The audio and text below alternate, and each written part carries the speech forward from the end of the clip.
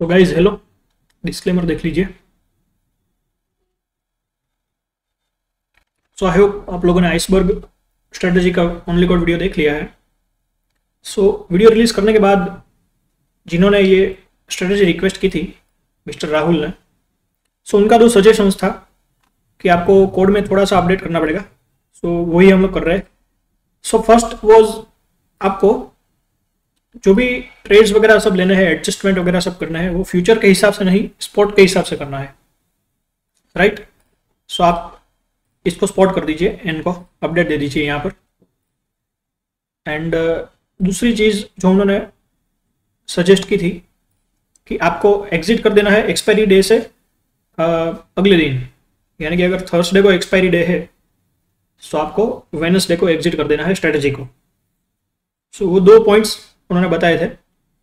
सो so, वो सिर्फ़ आपको चेंज करना है जो मैंने यहाँ पर की है आपके सामने।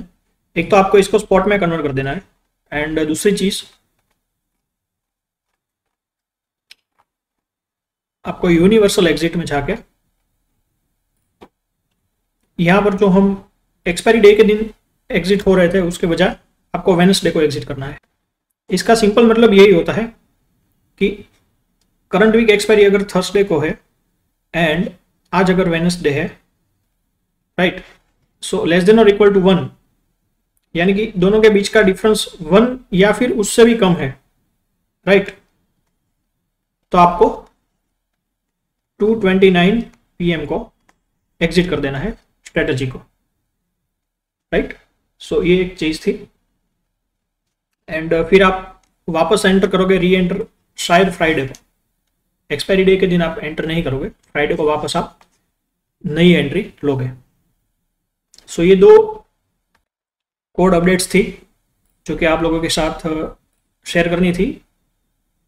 उससे पहले कि जब मैं इसका जो एक्सप्लेनेशन वीडियो बनाऊँ राइट ताकि एक्सप्लेनेशन वीडियो के टाइम हम लोग सिर्फ़ उसी पे फोकस कर सकें।